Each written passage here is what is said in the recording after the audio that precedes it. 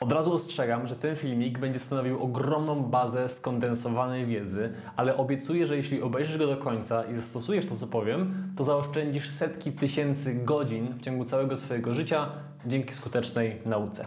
Lecimy.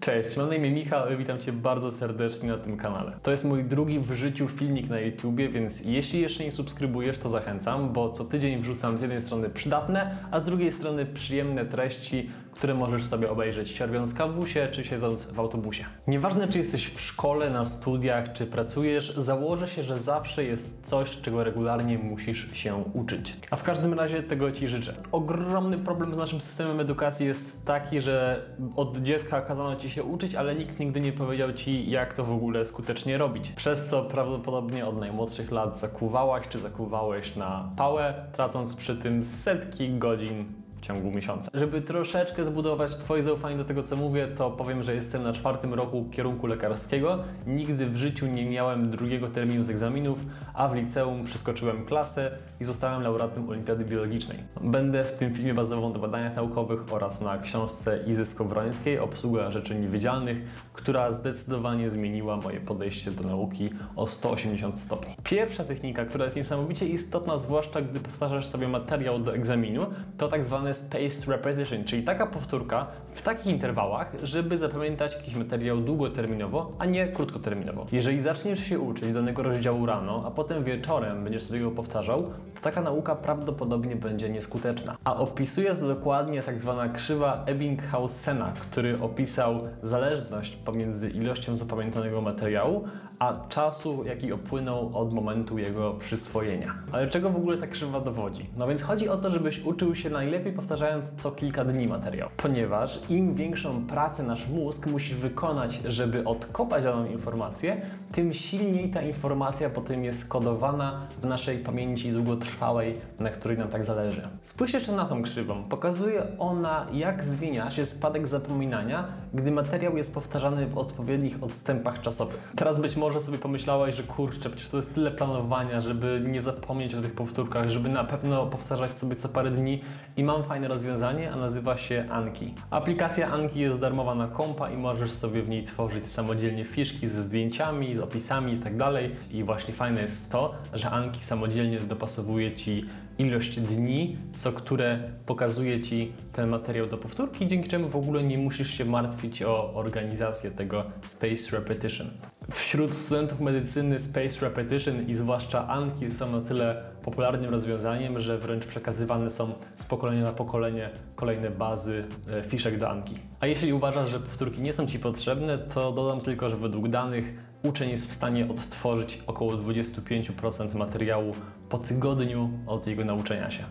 Siemka, z tej strony Michał z przyszłości. Pod koniec filmiku mam dla Was niespodziankę, także lepiej zostańcie do końca. Powiedzieliśmy sobie co ile robić powtórki, to teraz powiedzmy sobie w ogóle jak te powtórki robić, czyli jak się uczyć. Techniki nauki możemy podzielić na bierne oraz czynne i na tych czynnych polecam się szczególnie skupić. Ale niestety w szkołach każą nam się uczyć właśnie tymi biernymi, czyli mniej skutecznymi metodami. Do biernych metod należy m.in. czytanie, ponowne czytanie akapitu w ramach powtórki, podkreślanie, oglądanie edukacyjnych filmików, takie bezrefleksyjne tworzenie notatek, czy pisanie tytułów, kolorowanie schematów i rysowanie obrazków. I założę się, że korzystasz z tych metod, dlatego że po prostu zostało Ci poniekąd wpojone, że tak właśnie musisz się uczyć, żeby zdać. Prawda jest jednak taka, że te metody może nie są bez sensu, ale po prostu znacznie wydłużą czas nauki. Miałem w podstawówce znajomą, pozdrawiam Cię Julka, która w ramach powtórki do testów przepisywała zdanie po zdaniu cały swój zeszyt. I oczywiście, że coś tam z tego zapamiętała, tylko że po prostu czas, który poświęciła na to, ma się nijak do czasu, który mogłaby poświęcić i nauczyć się tego po prostu skutecznie i bardziej produktywnie. Tak więc oto aktywne metody nauki. Po pierwsze tworzenie skojarzeń, a po drugie rysowanie czegoś tak, żebyśmy lepiej to zapamiętali.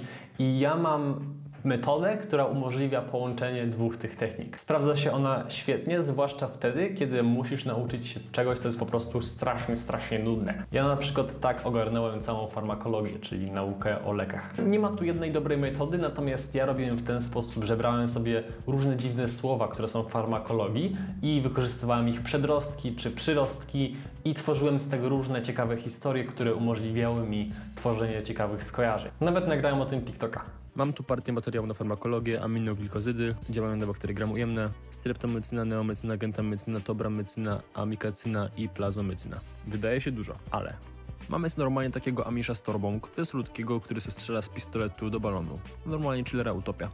I jeszcze ma strapona. Takiego nowoczesnego, genitalnego strapona. Muszę go niestety ocenzurować. E, ale ten strapon dodatkowo w ogóle strzela kurde plazmą. Ale moją absolutnie ulubioną metodą jest aktywne wydobywanie informacji z mózgu, czyli tak zwany active recall. Jest to technika, dzięki której nie tylko możemy lepiej zapamiętać dany materiał, ale również możemy dzięki niej ogólnie polepszyć swoją pamięć. A poza tym active recall czarno na białym pokaże nam co już umiemy, a czego jeszcze nie. Po pierwsze, wybierz sobie listę zagadnień, których chcesz się nauczyć. Czy to są daty, czy jakiś rozdział w podręczniku, czy lista słówek. Przeczytaj te zagadnienia, czyli tutaj stosujemy normalnie bierne techniki nauki. Po prostu staraj się zrozumieć ogólnie ideę, czego się uczysz. Następnie zamknij książkę, wyłącz film i postaraj się z jak największą ilością szczegółów w punktach wypisać, czegoś nauczyłeś i co zapamiętałeś. Następnie otwórz znowu książkę, zobacz, czy zapomniałeś o czymś, przeczytaj sobie znowu całe zagadnienie i znowu zamknij książkę i wypisz wszystkie rzeczy, które zapamiętałeś. I ten proces powtarzaj, aż się nauczysz i pamiętaj o spaced repetition, o którym mówiliśmy wcześniej. Wspomniałem wcześniej, że notowanie należy do biernych technik nauki, więc są one teoretycznie mniej skuteczne, ale jeżeli już musisz notować, to rób to odręcznie. W ten sposób po prostu lepiej zapamiętasz. I możesz też zastosować parę metod robienia notatek, a oto one. Pierwsza to metoda Feynmana, który powiedział, że jeżeli nie jesteś w stanie przedstawić czegoś w prostych słowach, to znaczy, że prawdopodobnie tego nie rozumiesz. I ta metoda polega na tym, że jeżeli masz jakieś zagadnienie czy definicję, to nie przepisujesz jej na głupa do notatnika, e, tak jak jest, tylko starasz się ją sparafrazować, żeby była prosta i naprawdę łatwymi, zrozumiałymi słowami napisana, może być nawet śmieszna. Bo wkładając wysiłek w takie parafrazowanie zdań, jednocześnie utrwalasz to zagadnienie u siebie w pamięci. I tą metodę Feynmana możesz jednocześnie zastosować w tak zwanej metodzie Cornella. Żeby zastosować tę metodę, musisz podzielić kartkę na takie oto segmenty.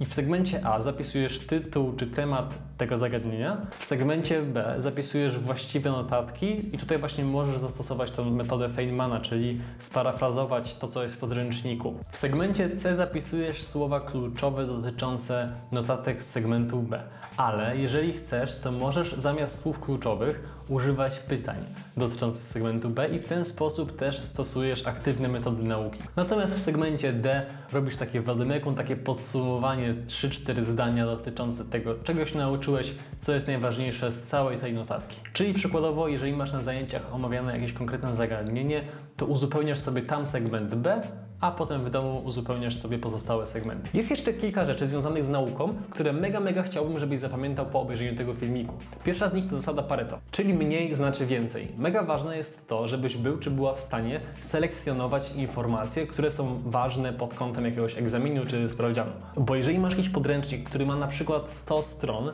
to jest naprawdę spora szansa, że dosłownie 20 czy 30 stron z tego podręcznika będzie rzeczywiście weryfikowane podczas egzaminu. Przykładowo, jeżeli uczysz się botaniki pod maturę z biologii, to nie ucz się bezsensownie nazw rodzajowych drzew, tylko naucz się tego, co jest najbardziej prawdopodobne, że się pojawi, ale naucz się tego bardzo dobrze. I mając takie podstawy, jest znacznie większa szansa, że lepiej zdasz egzamin maturalny. Po drugie, wyłącz powiadomienia w telefonie, wywal telefon do innego pokoju i usuń wszystkie rozpraszacze, które masz aktualnie w pokoju czy przy biurku. W ten sposób jest mniejsza szansa, że się rozproszysz. Strasznie dużo szy...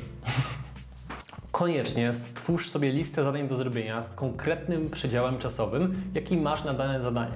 To się w ogóle bezpośrednio łączy z prawem Parkinsona, które mówi o tym, że zadanie, które wykonujesz, idealnie dopasowuje się czasowo do czasu, który masz na nie przeznaczyć. Czyli jeżeli masz do przerobienia jakiś rozdział, ale sobie nie ustalisz, że masz na niego na przykład 3 godziny, to będziesz go robił cały dzień, a może nawet go nie skończysz. Kolejna, już nie pamiętam która rzecz, to jest medytacja mindfulness. Mega ją polecam, ponieważ jest to świetny trening koncentracji. Niestety żyjemy w mega, mega przebodźcowującym nas świecie i taka medytacja mi po prostu bardzo, bardzo pomaga się wyciszyć i skupić się na tym, żeby wejść w flow nauki czy produktywności generalnie. Jeżeli masz problem z organizacją czasu, to bardzo Ci polecam technikę Pomodoro, którą pewnie znasz, bo każdy ją zna. W skrócie 30 minut nauki, 5 minut przerwy, 30 minut nauki i tak dalej.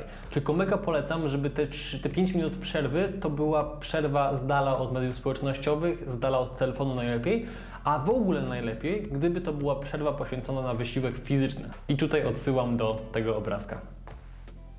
Korzystając z techniki Pomodoro, bardzo skutecznie zabezpieczasz się przed negatywnymi skutkami zasady Parkinsona. I jeszcze ostatnie kilka kwestii. Po pierwsze, wysypiaj się. Bez dobrego snu po prostu nie ma szans, żebyś był na tyle skuteczny, jakbyś był wyspany. Po drugie, wywietrz pokój. Po trzecie, posprzątaj biurko, najlepiej cały pokój. Po czwarte, jeżeli chodzi o muzykę, to tutaj zdania są podzielone. Muzyka, jak każdy inny bodziec, będzie część Twojej uwagi zabierała, ale z drugiej strony może stworzyć Ci dobry vibe do pracy i to jest ok. Także najlepiej, jeżeli sprawdzisz, czy po prostu Tobie osobiście muzyka pomaga, czy przeszkadza. Ja osobiście z muzyki nie korzystam. I ostatnia rzecz, jako że na medycynie, to muszę o tym powiedzieć, koniecznie się zbadaj. Hormony tarczycy, hormony płciowe, cukier, morfologia, witaminy, to wszystko może wpływać na Twoją skuteczność, na Twoją produktywność, na Twoją senność itd. Tak Więc zanim się będziesz stymulować kawusią czy energolami, na początku się zbadaj. Wow, dotrwaliśmy do końca. Jeżeli dalej tu jesteś, to będę bardzo wdzięczny, jak zostawisz w komentarzu dokładnie tą emotkę. To mi daje znać, że jesteś prawdziwym człowiekiem, a nie botem. Plus bardzo mi jest mi miło, że ktoś to ogląda do końca i zawsze mi się miło takie komentarze czyta. Możesz to teraz zrobić, a ja w tym czasie opowiem Ci o fajnej niespodziance. Stworzyłem dla Ciebie taką fajną, w 100% darmową grafikę, którą możesz sobie pobrać u mnie w opisie filmu, wydrukować i powiesić nad biurkiem. Na tej kartce będzie wylistowane wszystko to, co tu powiedzieliśmy w postaci takiej przypominajki, jak się skutecznie uczyć, dzięki czemu zawsze jak będziesz siadać do biurka, to będziesz miał przed sobą właśnie tą kartkę i będziesz się skutecznie uczył, mam nadzieję. No i jeżeli uważasz, że to, co robię jest wartościowe, to będzie mi bardzo miło, jak zostawisz lajka, subskrypcję i udostępnisz dalej. I mam jeszcze jedną fajną niespodziankę. Stworzyłem ostatnio we współpracy z przedsiębiorcami, z prawnikami, z naukowcami z listy Forbesa i wieloma, wieloma innymi niesamowitymi osobami w 100% darmowy program mentoringowy. Nazwaliśmy go Wyzwanie Ogarnięcia i mam nadzieję, że pomoże Ci on znaleźć swoją ścieżkę kariery w życiu i do niego również znajdziesz link w opisie filmu. Zajmie on Ci 5 minut przez 20 dni, czyli łącznie 400 minut.